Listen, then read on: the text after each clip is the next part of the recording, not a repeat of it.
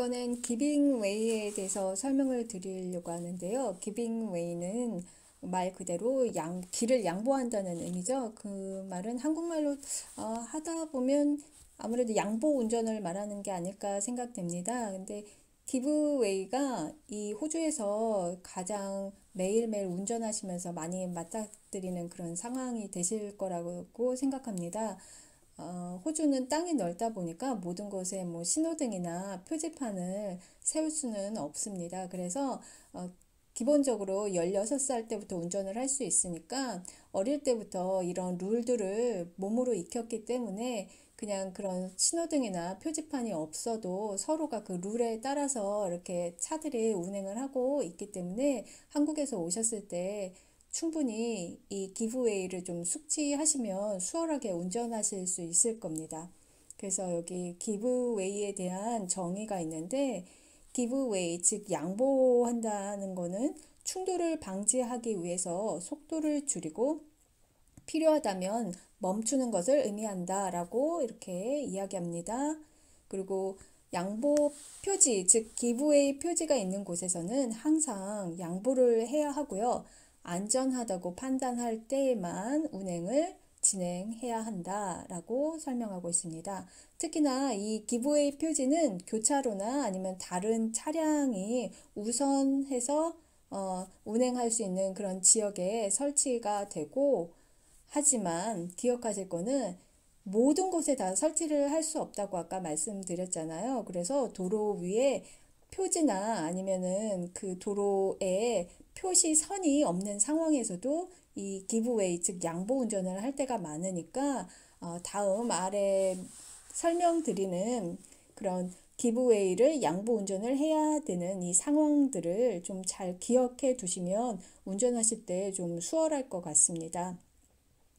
일단 어, 양보 운전 즉 기브웨이를 해야 되는 그런 경우에 대해서 여기 설명해 놨는데 그 첫 번째가 규칙이 give way나 양보 운전을 해야 된다고 규정한 그런 경우라고 이렇게 설명을 해 놨습니다. 그리고 두 번째는 give way 표지나 stop 표지가 있는 경우 give way를 어, 주셔야 하고요. 도로에 stop 또는 give way 정지선이 있는 경우에 이렇게 giveaway를 하셔야 되고요. 교차로에서 오는 차량의 차선을 내 차량이 지나서 우회전을 해야 할 경우에도 당연히 양보 운전을 하셔야 됩니다. 그 다음에 T자형 교차로에서 좌회전 또는 우회전을 하는 경우 기브웨이 꼭 실천하셔야 되고요. 도로나 도로 옆에 주차장 또는 토지에서 도로로 진입한 경우에도 기브웨이 하셔야 합니다.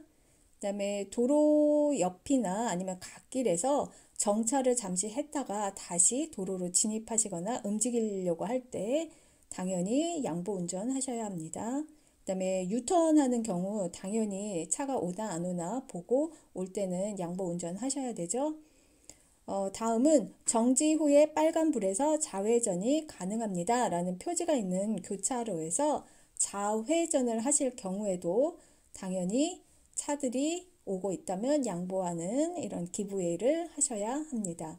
이렇게 기브웨이에 대해서 큰 틀에서 지금 이야기를 하고 있는데 아까 말씀드렸듯이 이 외에도 많은 상황에서 기브웨이를 하셔야 하니까 잘 이 큰 틀을 기억하시고 나머지 세세한 것들은 이제 몸으로 직접 부딪히시면서 배워 나가셔야 할 거라고 생각합니다. 그다음에 밑에 이제 그 예시들을 유튜브 비디오로 이렇게 만든 동영상이 있는데 함께 보면서 어떤 예시들이 있나 한번 하나씩 하나씩 지켜보겠습니다.